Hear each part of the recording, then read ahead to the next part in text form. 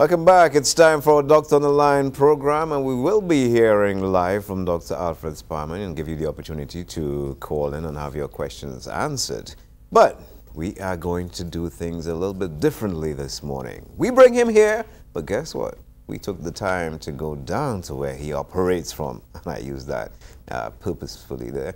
And not us, but Cassandra, and she got to put on a very nice hat. Let's look at Cassandra. Christmas Eve is often a time when people are busy trying to find that last minute Christmas gift. There are many people, however, in their various professions who don't have that pleasure. They're busy at work. Take broadcasting, for example. We could be at work. What about the doctors and nurses? They're definitely at work just in case we overeat or something. But on a serious note, on Christmas Eve, uh, an interventional cardiologist had the opportunity to do something that was life-saving. His name is Dr. Alfred Sparman, and he is a regular contributor on Morning Barbados, and we thought it would be nice to share this story with you. Someone got the opportunity at a gift of life on Christmas Eve when he performed a five-hour procedure known as the catheter-directed thrombolytic therapy procedure. The symptoms were a discolored hand, no pulse, pain, numbness, and an inability to move it. So when he came in, I looked at that as, a, as a, an interventional cardiologist. I knew that there has to be some type of blockage somewhere. So I did an angiogram and I went through the groin and, and squirt some dye into that area. I used uh, something called an internal mammary artery, a, a uh, catheter, a uh, guiding catheter actually, that moves all the way up uh, straight to the subclavian artery. And the angiogram is just your way of looking inside? Yes, angiogram is, a, you just, you put some dye in any artery, you could find out what's going on. So I knew that it had to be the subclavian on the left side. Went up there and there it was, a clot from where the carotid artery take off and go to the brain, from out of the heart, all the way down to the brachial artery. So I knew that if I don't, it's the weekend, and conventionally what they do, they would have to, ha it, you ha must have major surgery on a general anesthesia. You're cut, get in there, try to get that clot out of there. And what happens, a lot of complications, stroke, not to mention uh, infection. And then they take these grafts, uh, either from saphenous vein graft or Dacron graft and so forth, and bypass it from either one artery, the subclavian the right, to the one on the left, or from a carotid, and, and so forth. But the complications are very, very high, stroke, infection, sepsis, and all, and even death. So and that's if you had had to, if he had had to have this uh, major, majorly invasive surgery. Surgery. And if he hadn't had that, if you hadn't done the procedure that you did with his hand being discolored and oh, he would died. He would have died. Gangrene, dark, sepsis, and death. So I said to myself, you know what? I'm going to do it. I've done uh, many of them before, but not any in the region, and this is unusual in the region. People don't do that stuff here. So whether Barbados and the region, I mean. So I went in there on Christmas Eve and, and I took this catheter, went up to the subclavian artery, and then there is a um, certain device that I have called the Clearway RX. I take it and um, as a matter of fact, you will probably have a picture of that. And I would go right through the catheter, block off, put the balloon up and block off uh, the artery proximally so that nothing, no clot can go up to the brain or anywhere else and infused something called tissue plasminogen activator. And I just dissolve that clot, dissolve, moving forward, dissolving all the time. It took me five hours. And then eventually what we had? Complete return of pulses to his radial artery. And within two days, that man, the color came back, man was able to move his hand, and he went home. Wonderful New Year gift for him. Can this procedure be uh, used or applied in different situations or if uh, perhaps a blockage occurs somewhere else? The whole vascular network, the arterial tree, all interconnected. I can go to any artery in the body from any axis. In other words, all the arteries emanate from the heart. So you can enter through the groin, you can enter through the arm, you can enter the neck. It doesn't matter. But let me show you exactly what happened if you can take a look and see what was happening with this gentleman. Here you have, this is my IMA, internal mammary artery, a catheter, a guiding catheter. I come all the way up from the right groin, and here I am, and I squirt some dye, look what happens. Blockage. Blood, the blood is supposed to go through that subclavian artery. It stops right here. Go on to the next one, please. See? It went here and then it stopped here. That's it. Clot started. This clot here, as you can see, this is the caliber is smaller, but the clot has stopped here and now it's going into a small little branch going somewhere up here. But not enough to, to serve the arm. That's why I couldn't feel a radial, brachial, or axillary pulse. Couldn't feel none. Next. You see me trying to get across from a wire, it wouldn't go further because the clot is there. Next. And, and now you could see me now. This is the clearway. I got the clearway catheter right through that IMA catheter right there. And then you could see right now that where the dots are, that's my balloon. I'm trying now to infuse. I'm infusing and infusing. Next. And for those persons who may not understand what the catheter is, just point it's something that people, you know, people who have certain medical conditions would understand, but just so they know. The catheter is, it's a tube that has a lumen. There's an inside. You can infuse stuff or you can put wires through. And at the end of that tube, there is like a small balloon that is porous. So it allows me, the interventionalist, to be able to, from this end, direct it to a certain area and infuse this thrombolytic therapy, the TPA or the tissue plasminogen activator, which breaks up clot, and slowly, at about four atmosphere, easily cut away and break away on that clot until it's no more. And that's basically what it is. So here we are now. Coming down, next, I'm trying to if you notice, I'm going further down with this balloon infusion device, the Clearway RX. Next. Before clot right here that stopped. There's clot all here and it stops right here. That's before. That's before. And after, look, complete blood flow all the way down, going further down. Uh, could you play that in real time? Look, see that? Yeah, this is flow. Clot is gone. And we have saved his arm. Real breakthrough. And I think that um, people should know that these things exist in this mecca of a country we have here. We have everything. Dr. Sparman, tell me about your OR. This is uh, the second one I've been into. And as a matter of fact, it's one of the biggest in the world. I say that because I checked it out. The average cat lab is 600 square footage. This is 640. I did that because I like to live in a lot of room. Yeah. you have a passion for what you do, and, and you can see that, you can hear that when you talk. You know, I mean, giving up, sacrificing your Christmas Eve when most people would want to head home to their families. I mean, that must be a part of the business that you're involved in, saving lives. Yeah. So, you know, let's talk about the space. Let's talk about what this means to you. If you want to see me happy, let me save a life. A guy comes into me with, a, with chest pains and I know his pressures are dropping, he's having a heart attack. I know something has to be done. I come in and I put a stent in there, save his life, and that pressure start to come up. And he walks out of here alive. My day is made.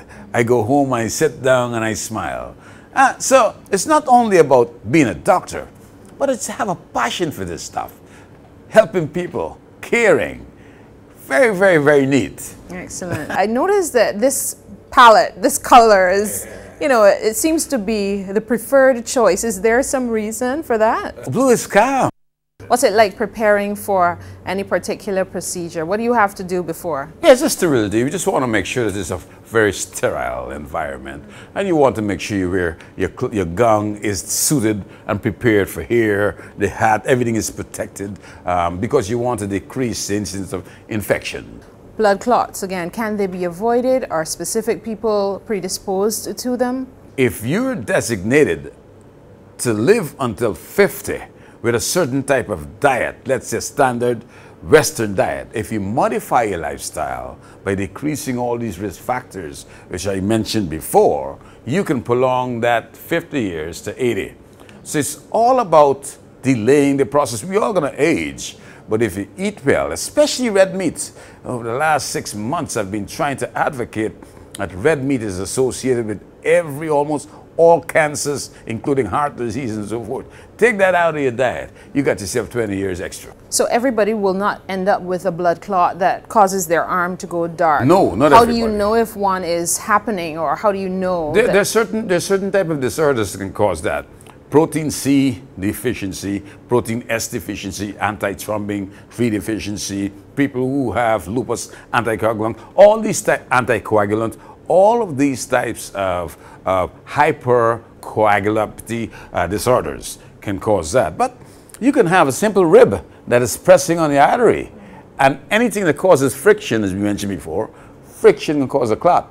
So if you got a little rib that is pushing too much out there and touching that, you can have it. If you have cancer, these people are predisposed to clotting arteries everywhere. If you're taking contraceptives, yes, you can be predisposed to blood clots. So it can happen to almost anybody. This procedure sounds, the title of it alone sounds so complicated, but what do you want to leave with people today? Is, is this our friend then? Can we say that? Of course, of course. Any procedure that will save life has to be your friend. Welcome back, and it's of course our Doctor on the Line segment, and we have Dr. Alfred Sparman. And if you were viewing before the break, you saw uh, a procedure that he con- that he performed, uh, assisted ably by Dr. Cassandra, who was there dressed up in her smoking and everything. Doc, welcome. Yeah, thank you, thank you, thank you for having me. It looks pretty impressive that procedure. I mean, is, is uh, blood clots uh, things? I mean, I guess you could be unfortunate and it happens and you just die. But Yeah. are these things that people uh, are they happening regularly?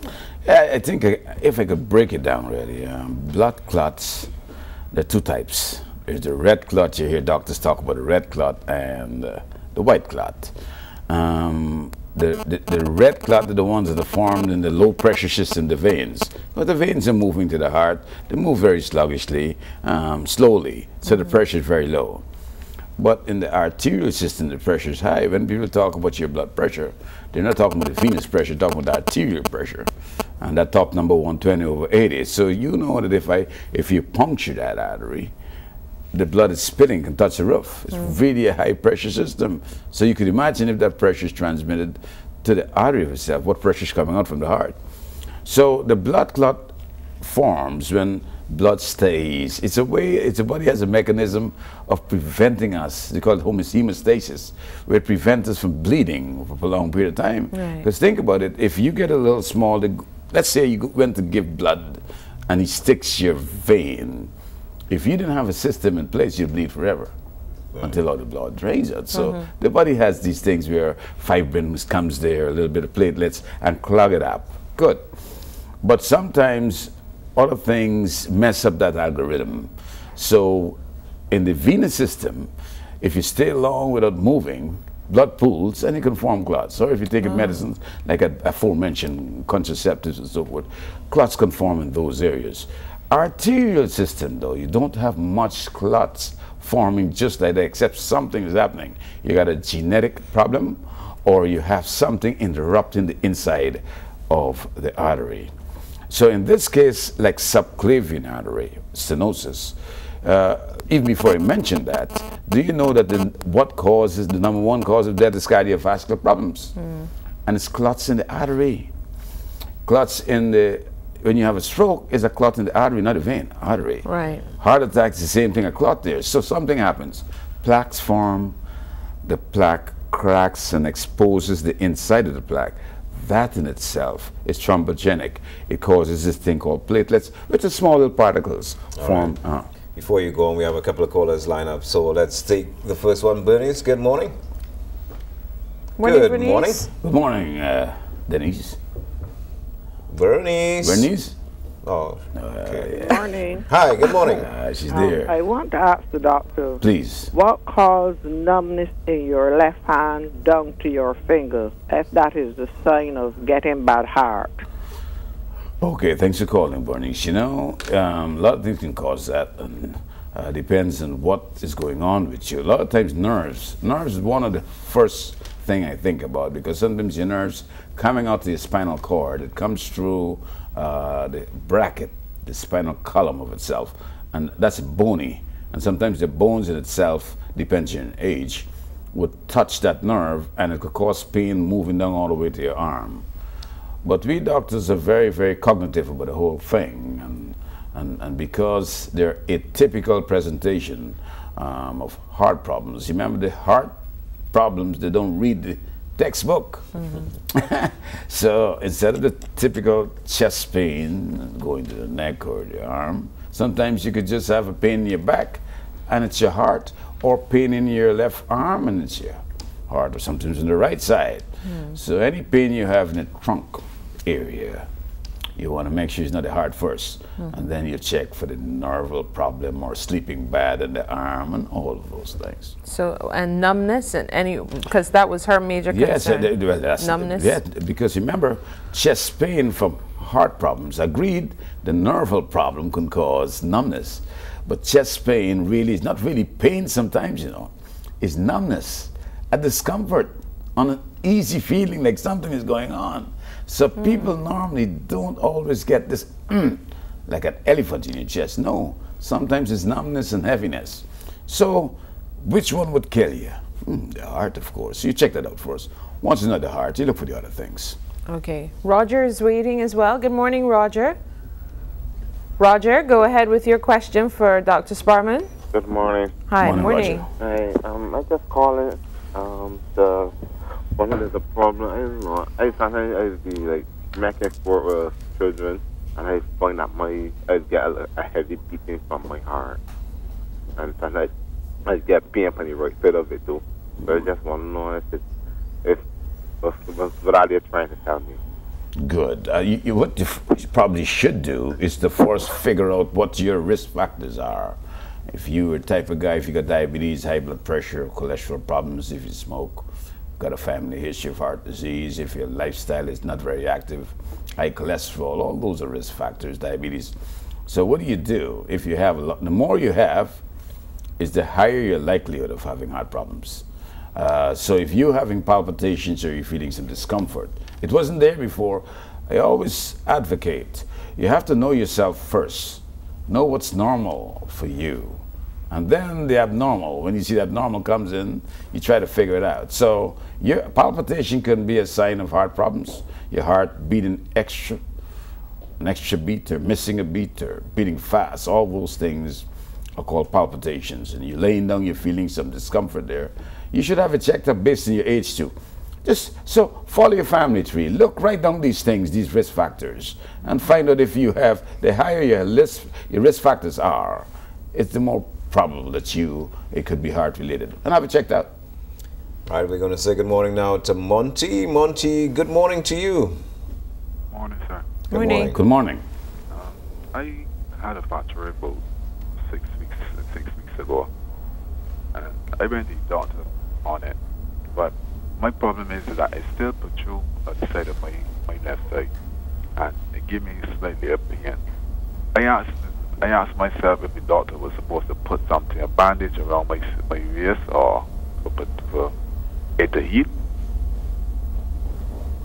Or oh, okay. are you finished, Monty? Yes, ma'am. Yeah. Okay. What is the procedure you say you had? I, I did. The, Monty, can you repeat the properly. procedure that you had? I had a, oh, I had an X-ray on it. Just an X-ray? Oh. it showed, the X-ray showed I was fractured. Fractured rib. Okay. Okay. Good. Well, yeah. Well, some of those. Thank you. We couldn't hear you well, Monty. So excuse.